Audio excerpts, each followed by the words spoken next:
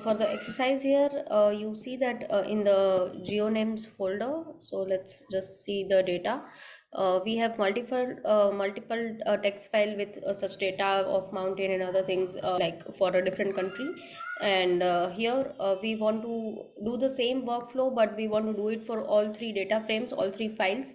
So first you can create an empty list and you can start up and like you can just iterate over the loop to get the path and after doing this once you have the data frame of three of the files you can just uh, come out of the loop and concat this. So we have a function uh, say concat and then you will have to uh, use the same steps like uh, uh, uh, selecting mountains then you will have to get the coordinates and then you can just create points out of it.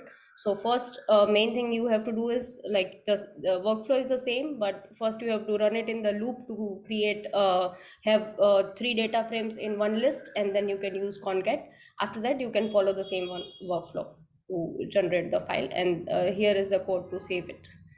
Yeah so the idea here is instead of creating a map of mountains in usa you want to create a map of mountains in north america so we want to take data set from three different countries canada us and mexico merge them into a single file. And this is a very common workflow. People say, I have 100 shape files in a folder.